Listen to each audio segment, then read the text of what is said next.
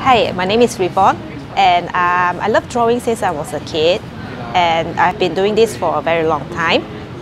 Um, love drawing because uh, this is the way I express myself because I, I don't talk much, so I let my drawing speak whatever uh, my thoughts are. And um, recently, uh, my style has evolved, and then um, you can see here in my Artscape exhibition. And today's uh, this time the theme is luminosity, which centers uh, uh, on mental illness, and my mental illness is uh, mood disorders. So mood disorders, um, it happens to everyone.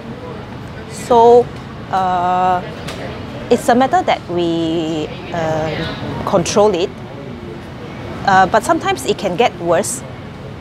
So if it's not if it's not in our control, we need to seek professional help.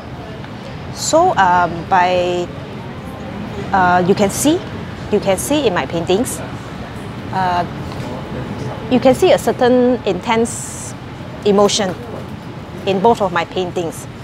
One uh, like this, uh, the theme is cockatrice, where this mystical, mythical creature, they, when one sees cockatrice in the eye, uh, they will drop dead.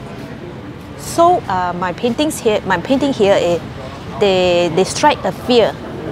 I want to portray that, that emotion that people fear this creature itself. And here, the title is Chilling. it also has this intense emotion. It strikes fear, but not in a bad way. And also, um, I love elab elaborate design, so you can see that it doesn't just portray the creature itself. It also have, uh, has any uh, has different elements in it that you won't feel bored when you look at my drawings. Yes, that's all. Thank you.